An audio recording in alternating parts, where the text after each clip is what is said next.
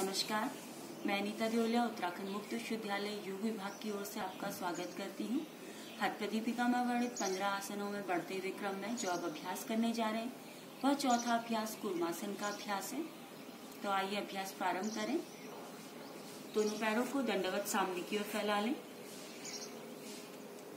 आप वज्रासन की स्थिति में जाकर यह अभ्यास करते हैं तो आप दोनों पैरों को मोल्ड कर इस प्रकार से मोड़कर एड़ियों के ऊपर बैठते हैं। इस प्रकार आप एड़ी के ऊपर बैठते हैं जो इसकी अंतिम स्थिति होती है, इसमें आप अपने पंजों के अग्रभाग को बाहर की ओर निकाल कर रखते हैं। देखिए किस प्रकार आपको निकालना है। और हल्की आगे की ओर आएँगे आपके पंजे। यह आपकी अंतिम स्थिति है, जिसमें आप अपनी एड़ियों पर दबाव डालते हैं और कमर को सीधा रखकर दोनों हाथों को घुटनों के ऊपर रखते हैं। यह आपका कूर्मासन का अभ्यास अंतिम स्थिति में आप आँखें बंद कर सकते हैं, यदि आप सहज महसूस कर रहे हैं?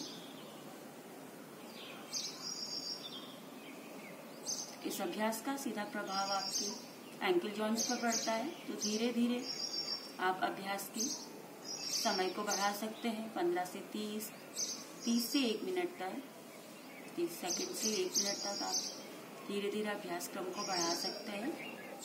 अभ्यास पूर्ण होने के बाद आँखें खोलकर पंजों को पुनः सामान्य स्थिति में लाते हुए आप वज्रासन की स्थिति में या दंडासन की स्थिति में विश्राम करेंगे। पैरों को आप दंडासन में फैला लीजिए।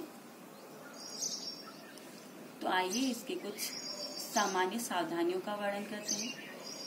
अभ्यास से पूर्व सामान्य सावधानियाँ आपको ध्यान में रखनी है। यदि आप वज्रासन की स्थिति में नहीं बैठ पाते हैं, आपके पैरों के जोड़ों पर कड़ापन है। मांसपेशियाँ कड़ी हैं तो हो सकता है आपको वज्रासन की स्थिति में भी दिक्कत हो। उस स्थिति में आप इसका अभ्यास नहीं कर पाएँगे।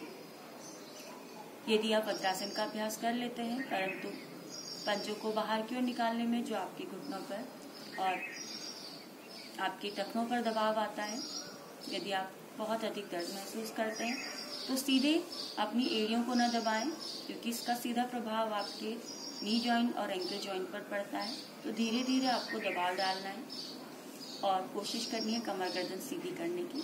ज़ोर ज़बरदस्ती अभ्यास नहीं करना है। कोई भी अभ्यास ज़ोर ज़बरदस्ती ना करें। धीरे धीरे उसकी स्थिति में जाने का प्रयास करें। तो आइए इसके कुछ लाभ भी जाने। सामान्य लाभ। यह अभ्यास कमर दर्द और साइटिका दर्द के लिए काफ़ी हद तक आराम पहुंचाता है। यह अभ्यास आपके पैरों के जोड़ों को लचीलापन प्रदान करता है।